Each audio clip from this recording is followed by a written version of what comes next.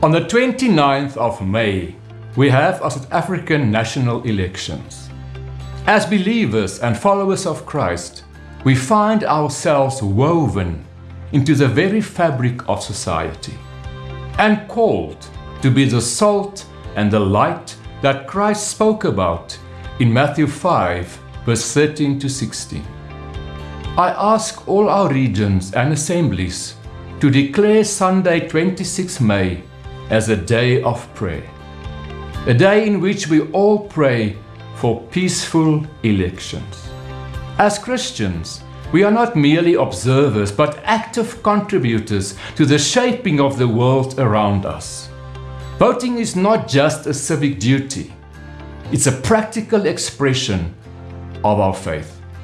Our Lord encourages us to engage with the world, to bring about positive change, and to be instruments of His love and His justice.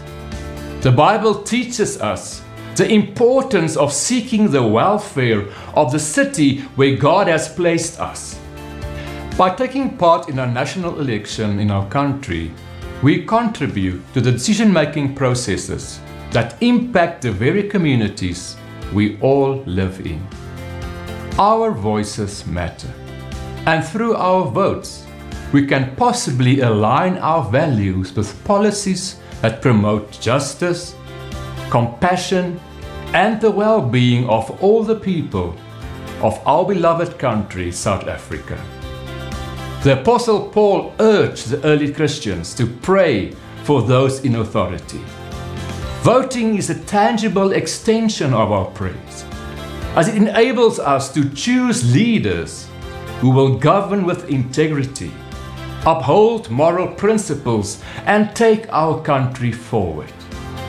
In this pivotal moment, let us rise to vote, motivated by our shared faith and the desire to see God's principles reflected in our nation's leadership.